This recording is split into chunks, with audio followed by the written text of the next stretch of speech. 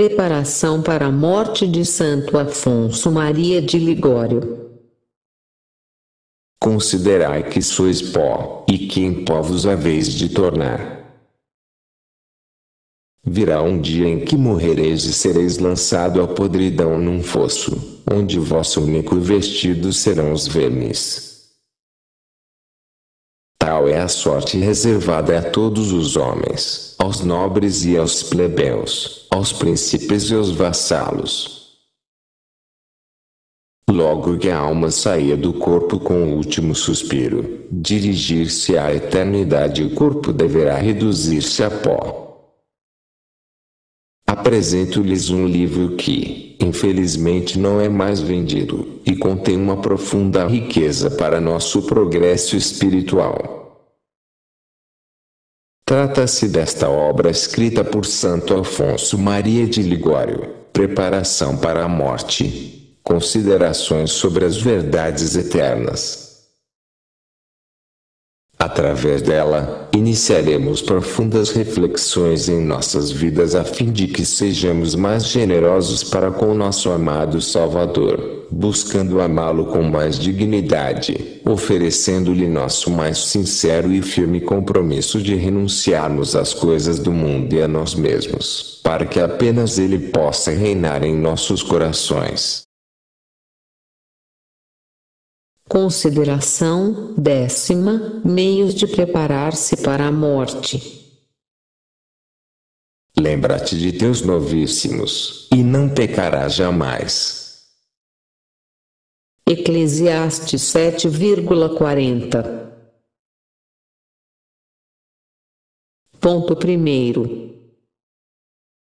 Todos cremos que temos de morrer, que só uma vez havemos de morrer e que não há coisa mais importante que esta, porque do instante da morte depende a eterna bem-aventurança ou a eterna desgraça. Todos sabemos também que da boa ou má vida depende o ter boa ou má sorte.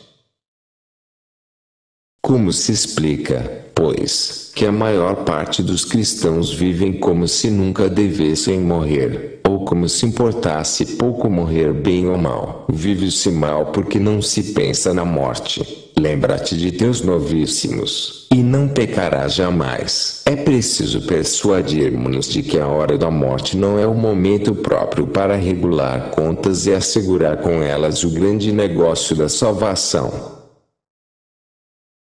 As pessoas prudentes deste mundo tomam, nos negócios temporais, todas as precauções necessárias para obter tal benefício, tal cargo, tal casamento conveniente, e, com o fim de conservar ou restabelecer a saúde do corpo, não deixam de empregar os remédios adequados.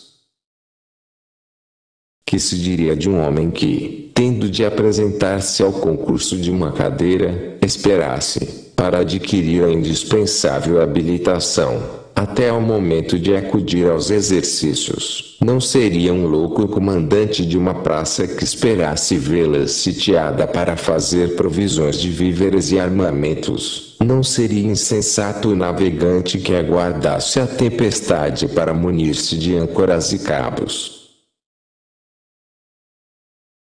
Tal é, todavia, o procedimento do cristão que difere até a hora da morte o regular o estado de sua consciência. Quando cai sobre eles a destruição como uma tempestade. Então invocar-me-ão e não os escutarei. Comerão os frutos do seu mal proceder. Provérbios 1,27 a 28, 31. A hora da morte é tempo de confusão e de tormenta. Então os pecadores implorarão socorro do Senhor, mas sem conversão verdadeira, unicamente com o receio do inferno, em que se veem próximos a cair. É por este motivo justamente que não poderão provar outros frutos que os de sua má vida. Aquilo que o homem semeou, isto também colherá.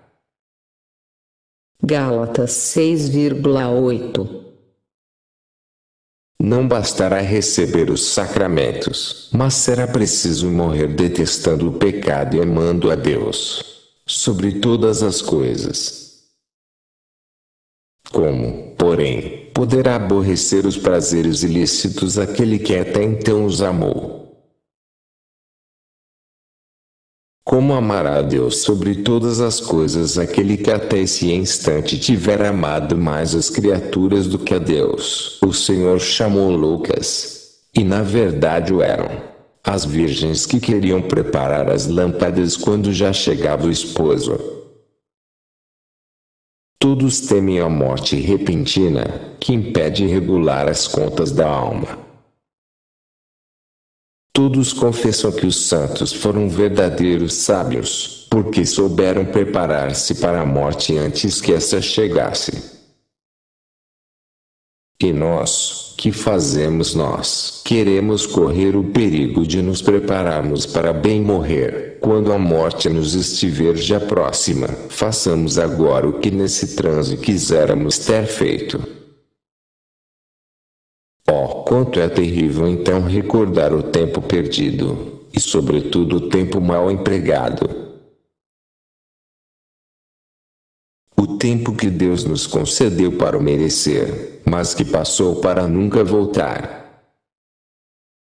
Que angústia nos dará o pensamento de que já não é possível fazer penitência, frequentar os sacramentos, ouvir a palavra de Deus, visitar Jesus sacramentado, fazer oração. O que está feito, está feito. São Lucas 16,21 Seria necessário ter então mais presença de espírito, mais tranquilidade e serenidade para confessar-se bem, para dissipar graves escrúpulos e tranquilizar a consciência.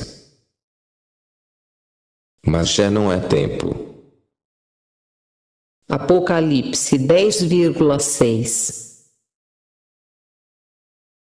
Afetos e súplicas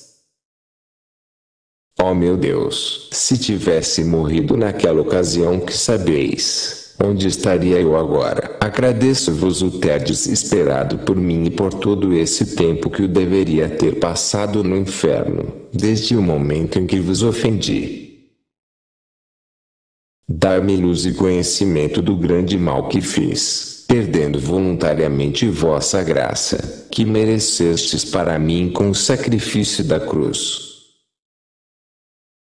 Perdoai-me, meu Jesus, que me arrependo de todo o coração e sobre todos os males de ter menosprezado vossa bondade infinita. Espero que já me haveis perdoado. Ajudai-me, meu Salvador, para que não volte a perder-vos jamais. Ah, Senhor, se tornasse a vos ofender depois de ter recebido de vós tantas luzes e tantas graças, não mereceria um inferno criado de propósito para mim. Não o permitais pelos merecimentos do sangue que por mim derramastes. Dai-me a santa perseverança. Dai-me vosso amor. Amo-vos, meu sumo bem. Jamais quero deixar de vos amar. Tende, meu Deus, misericórdia de mim, pelo amor de Jesus Cristo. Recomendar-me a Deus, ó Virgem Maria, que vossos rogos nunca são desatendidos por esse Senhor que tanto vos ama. Ponto segundo. Já que é certo, meu irmão, que tens de morrer, prostra-te aos pés do crucifixo. Agradece-lhe o tempo que sua misericórdia te concede para regular tua consciência, e passa em revista seguir todas as desordens de tua vida passada, especialmente as de tua mocidade. Considera os mandamentos divinos, recorda os cargos e ocupações que tiveste, as amizades que cultivastes. Anota tuas faltas e faze, se ainda não fizeste, uma confissão geral de toda a tua vida. Oh, quanto contribui a confissão geral para pôr em boa ordem a vida de um cristão. Cuida que essa conta sirva para a eternidade e trata de resolvê-la como se apresentasses no tribunal de Jesus Cristo. Afasta de teu coração todo afeto mal e todo rancor ou ódio. Satisfaz qualquer motivo de escrúpulo acerca dos bens alheios, da reputação lesada, de escândalos dados, e propõe firmemente fugir de todas as ocasiões em que possas perder a Deus. Pensa que aquilo que agora parece difícil, impossível te parecerá no momento da morte. O que mais importa é que resolvas pôr em execução os meios de conservar a graça de Deus. Esses meios são ouvir missa diariamente, meditar nas verdades eternas, fazer, ao menos uma vez por semana, a confissão e receber a comunhão, visitar todos os dias o Santíssimo Sacramento e a Virgem Maria. Assistir aos exercícios das congregações ou irmandades a que pertenças, praticar a leitura espiritual, fazer todas as noites exame de consciência, escolher alguma devoção especial à Virgem, como jejuar todos os sábados, e, por fim, propor recomendar-se a Deus e a sua Mãe Santíssima, invocando ao miúdo, sobretudo no tempo da tentação, os santíssimos nomes de Jesus e Maria. Tais são os meios com que podemos alcançar uma boa morte e a salvação eterna. Exercer essas práticas será sinal evidente de nossa predestinação. Pelo que diz respeito ao passado, confiai no sangue de nosso Senhor Jesus Cristo, que vos dá estas luzes porque quer salvar-vos, e esperai na intercessão de Maria, que vos obterá as graças necessárias. Com a vida assim regulada, e a esperança posta em Jesus e Maria, quanto nos ajuda a Deus, e que força não adquire a alma, coragem, Pois, meu leitor, entrega-te todo a Deus, que te chama, e começa a gozar dessa paz que até agora, por culpa tua, não experimentaste. Pode, porventura, uma alma desfrutar paz maior que a de poder dizer todas as noites, ao descansar, se viesse esta noite a morte, morreria, segundo espero, na graça de Deus. Que consolação se, ao ouvir o fragor do trovão, ao sentir a terra tremer, pudermos esperar resignadamente a morte, se Deus assim o tiver determinado. Afetos e súplicas. Quanto vos agradeço, Senhor, as luzes que me dais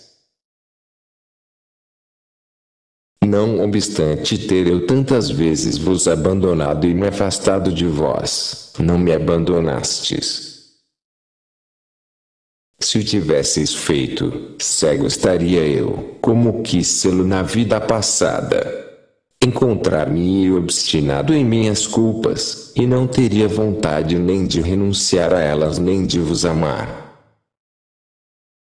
Sinto agora dor grandíssima de vos ter ofendido, vivo desejo de estar na vossa graça, e profundo aborrecimento daqueles malditos prazeres que me fizeram perder vossa amizade. Todos estes afetos são graças que de vós procedem e que me induzem a esperar que queirais me perdoar e me salvar. É, pois, a vós Senhor, que, apesar de meus muitos pecados, não me abandonais e desejais minha salvação, que me entrego inteiramente. Aflige-me de todo o coração o ter-vos ofendido, e proponho querer antes perder mil vezes a vida do que vossa graça. Amo-vos, soberano bem. Amo-vos, meu Jesus que por mim morrestes, e espero por vosso preciosíssimo sangue que jamais tornarei a afastar-me de vós. Não, meu Jesus, não quero perder-vos outra vez, mas sim amar-vos eternamente. Conservai sempre e aumentai meu amor para convosco, o que vos suplico pelos vossos próprios merecimentos. Maria, minha esperança, rogai por mim a Jesus. Ponto terceiro. É necessário o cuidado de nos acharmos em qualquer tempo, como quisermos estar na hora da morte. Bem-aventurados os mortos que morrem no Senhor. Apocalipse 14,13 Diz Santo Ambrósio que morrem infelizmente aqueles que ao morrer já estão mortos para o mundo, ou seja, desprendidos dos bens que por força então hão de deixar. Por isso, é necessário que desde já aceitemos o abandono de nossa fazenda, a separação de nossos parentes e de todos os bens terrenos. Se não o fizermos voluntariamente durante a vida, forçosa e necessariamente o teremos de fazer na morte, com a diferença de que então não será sem grande dor e grave perigo de nossa salvação eterna.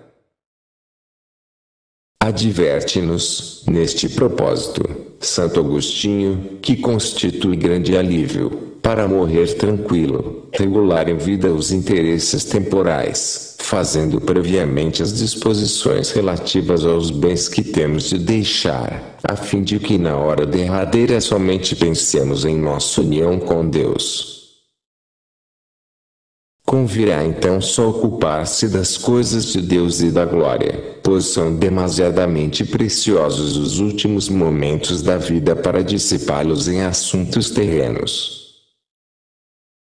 No transe da morte se completa e se aperfeiçoa a coroa dos justos, porque é então que se recolhe a melhor soma de méritos, abraçando as dores e a própria morte com resignação ou amor. Mas não poderá ter na morte estes bons sentimentos quem neles não se exercitou durante a vida.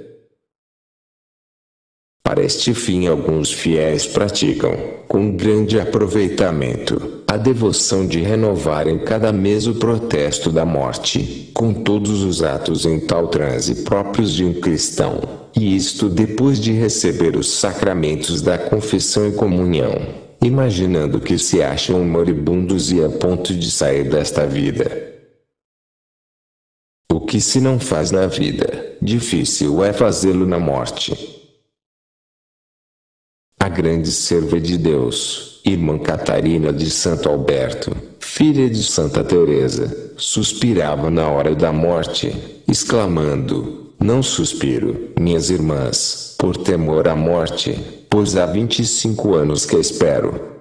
Suspiro porque vejo tantos pecadores iludidos que esperam para reconciliar-se com Deus até a hora da morte, quando apenas poderão pronunciar o nome de Jesus. Examina, pois, meu irmão, se teu coração tem apego a qualquer coisa da terra, a determinadas pessoas, honras, riquezas, casa, sociedade ou diversões, e considera que não has de viver aqui eternamente. Virá o dia, talvez próximo, em que deverás deixar tudo porque, neste caso, manter o afeto nessas coisas, correndo o risco de ter morte inquieta.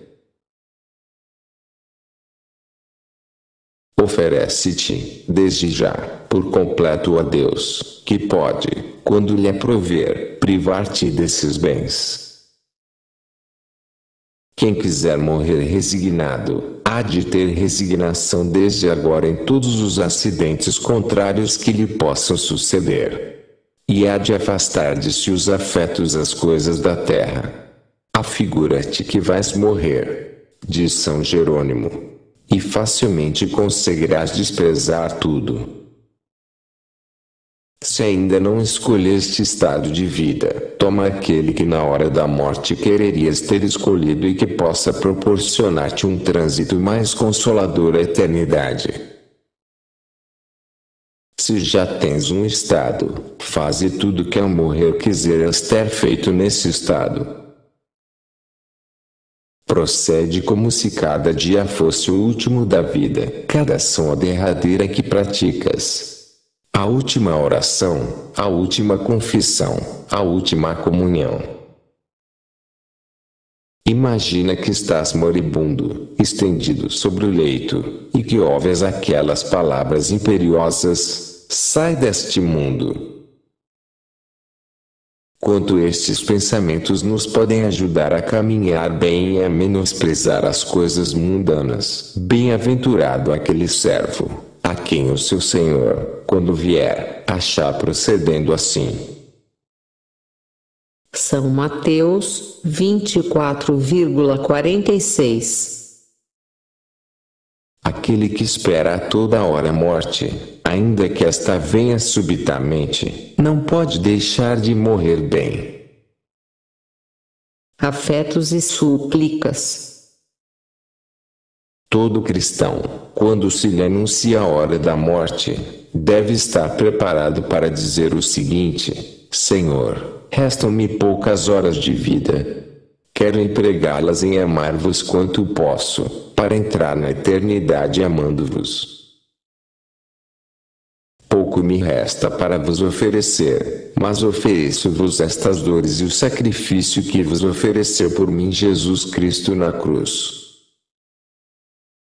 Poucas e breves são, Senhor, as penas que padeço, em comparação com as que he merecido.